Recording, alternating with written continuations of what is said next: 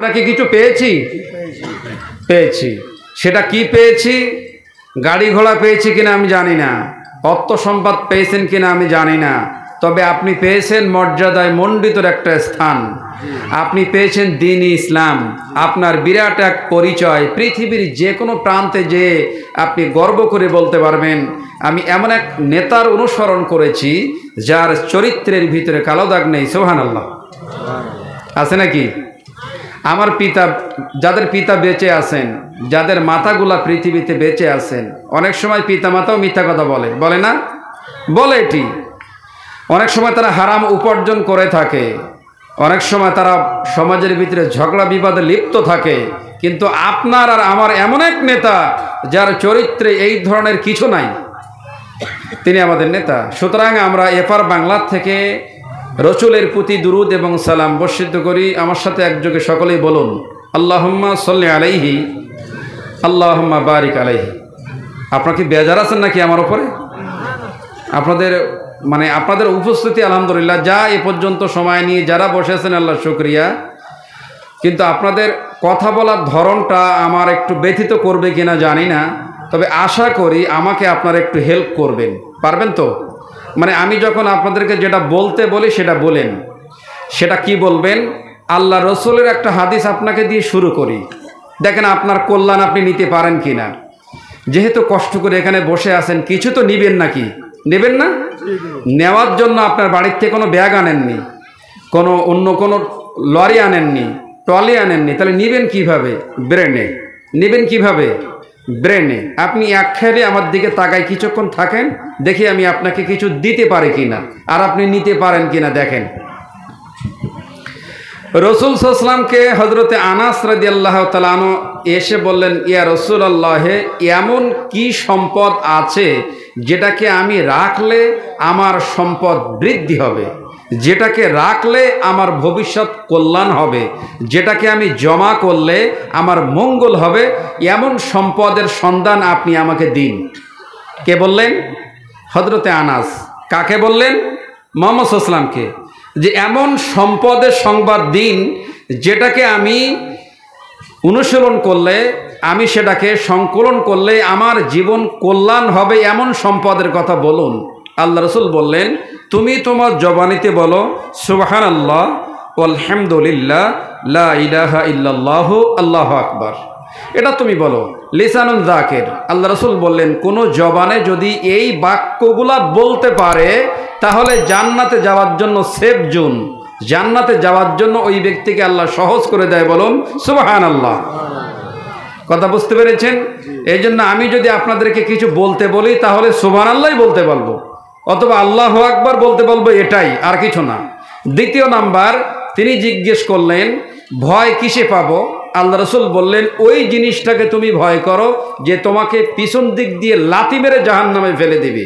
যে তোমাকে পিছন দিক দিয়ে লাথি মেরে জাহান নামে ফেলে দিবে, ওই জিনিসটাকে ভয় করো। তো জিজ্ঞেস করলেন, সে কে? রসুল বললেন সেটাও হলো তোমার জিহুবা।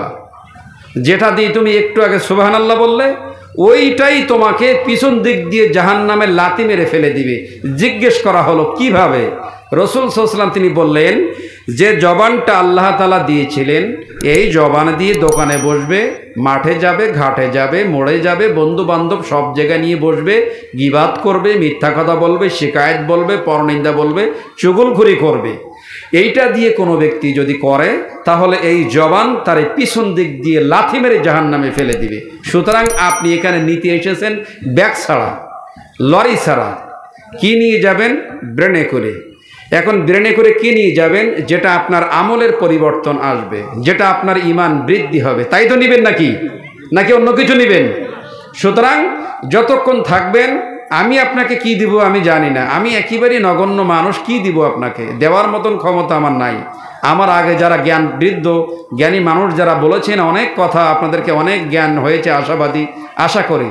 এরপরও আপনারা আমাকে রেখেছেন আপনাদের কল্যাণ। আপনাদের কল্যাণকে আমি আমি দেখি আমার জায়গার থেকে কোরআন এবং হাদিসের কিছু কথা যেন বলতে পারি। আল্লাহ তফিক দান করে বলুন আমিন। এইবার আসুন আমি আপনাদেরকে নিয়ে এবার যাচ্ছি। কোথায় যাচ্ছি?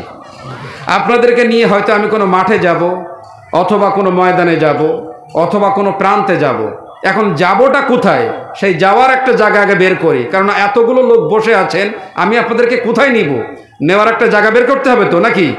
আমি আপনাদেরকে নিয়ে যাওয়ার মতো একটা জায়গা আগে বের করি। তারপরে সেই জায়গায় দেখেন যাওয়া যাবে কিনা।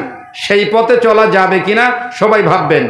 যদি ভাবেন, তাহলে আমার সাথে ঠিক ভুল অথবা বলেন। আল্লাহ তালা বললেন فأين تذهبون إن هو إلا ذكر للعالمين؟ لمن شاء منكم أن يستقيم وما تشاءون أن يشاء الله رب العالمين আল্লাহ তাআলা তার নবীর মাধ্যমে পৃথিবীর সকল ব্যক্তিদেরকে ওপেন করে বললেন হে পৃথিবীর মানুষরা তুমি কোন দিকে দৌড়াই চলে যাও কোন দিকে তোমার মুভমেন্ট চলে গিয়েছে তোমার চিন্তাধারা কোন দিকে চলেছে? দুনিয়ার কোনো পথে, দুনিয়ার কোনো মতে, দুনিয়ার কোনো ব্যক্তি জীবনে, দুনিয়ার কোনো পার্শ্বত্য জীবনে, দুনিয়ার কোনো দার্শনিকের জীবনে তোমারে মুক্তি দিতে পারবে না, তোমার কেউ বাঁচাতে পারবে না। তুমি যদি বাঁচতে চাও আর মুক্তি যদি পেতে চাও আমি ঐশ্বরিক আমার কোরআন আল কারিম রসুলের মাধ্যমে পৃথিবীতে নাজিল করেছি। যদি কোরআন আল কারিমের ময়দানে, এই কোরআন আল কারিমের সোহবাতে পৃথিবীর মানুষরা আসতে পারো, আমি রব্বুল আলমিন তোমাদের নাজাতের ব্যবস্থা করে দিলাম। সোহান আল্লাহ তার মানে হলো এটাই। আল্লাহ তালা ওপেন করে বললেন, পৃথিবীর মানুষদের চিন্তা পৃথিবীর মানুষের চেতনা, চিন্তাধারা যা হবে, সেটা হলো ঐশ্বরিক বাণী কোরআন। কিসের বাণী হবে? ঐশ্বরিক বাণী কোরআন আল কারিম।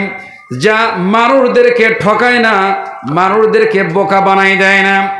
এ কোরআন আল কারিম এমন একটা কেতাব, যেই কেতাবটা মানুষদের শুধু দুনিয়ার ভিতরে তেলাওয়াতের কেতাব নয় এ করোনাল কারিমটা মানুষদেরকে জান্নাতের দরজা খুলে দেওয়া পর্যন্ত কেতাব। সোহান আল্লাহ সুতরাং, তাহলে আপনাদেরকে নিয়ে আমি কোথায় যাব? করোনাল কারিমের মাঠে নাকি? ওর বাড়িতে দেওয়া যাচ্ছে না। যাচ্ছে নাকি? তাহলে করোনাল কারিমের মাঠে আমরা যাব তো? যাব তো ইনশাল্লাহ। একটু প্রস্তুতি নেন। এই জন্য কবি বলেছেন সমাধান চাও যদি জীবনে, মরণে। ফিরে চাও, খুঁজে নাও, চোখ রাখো কোরআনে। সমাধান চাও যদি জীবনে, মরণে। ফিরে চাও, খুঁজে নাও, চোখ রাখো কোরআনে। তবেই পাবে সুখ, শান্তির ঠিকানা। যদি মেনে নাও তুমি মনে প্রাণে সমাধান চাও। যদি জীবনে মরণে ফিরে চাও, খুঁজে নাও, চোখ রাখো কোরআনে। কোথায় রাখব চোখ আমরা? কোরআন আল কারিমে এখন কোরআনে চোখ রাখলে লাভ কি কোরআন আল কারিমে চোখ দিলে কি লাভ এবার আমরা আসি চোখ কারা দিতে পারবে কারা দিতে পারবে না আল্লাহ অনেক আগে বিচার করেছে আমরা তো জানিই না আল্লাহ বললেন وَإِذْ أَخَذَ رَبُّكَ مِنْ بَنِي آدَمَ مِنْ ظُهُورِهِمْ ذُرِّيَّتَهُمْ وَأَشْهَدَهُمْ عَلَى أَنفُسِهِمْ أَلَسْتُ بِرَبِّكُمْ قَالُوا بَلَى বাহাত্তর আং তাকুলু ইন্না কুন্না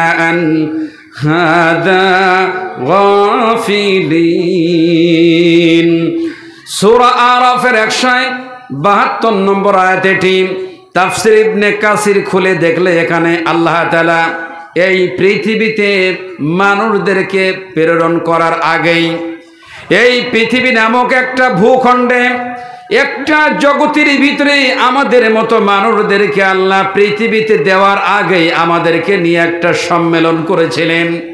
যেই সম্মেলনটা আহমাদ এবং মিসকাতের ওয়াদি নামান উপত্যকা বলা হয়েছে। আল্লাহ তালা বললেন, সেই সময়ের কথা স্মরণ করো যখন আল্লাহ তালা তোমাদেরকে নিয়ে একটা বৈঠক করেছিলেন। যেই বৈঠকে তোমাদের পিতা আদম আল ইসলাম আমাদের পিতা আদম আল ইসলামকে আল্লাহ তালা সৃষ্টির পর তার পৃষ্ঠদেশে এভাবে ডান হাতটা বোলাইছিলেন, এভাবেই বোলাইছিলেন আল্লাহ তালা আল্লাহ এইভাবে যখন হাত বোলালেন, তখন তার পৃষ্ঠদেশেতে লোমের গোড়া দিয়ে দিয়ে এই পৃথিবীতে যত নেককার বান্দা আর নেককার বান্দি যারা পৃথিবীতে ইসলাম মানতে পারবে সর্বযুগে, যে কোনো মুহূর্তে যে কোনো পরিবেশে, যে কোনো পরিস্থিতিতে ইসলাম মানার জন্য ওই ব্যক্তি সর্বদা প্রস্তুত থাকবে। ওই ব্যক্তিরা সর্বপ্রথম আগে আল্লাহ তালার হাতের সোয়ায় বের হয়ে আসলেন।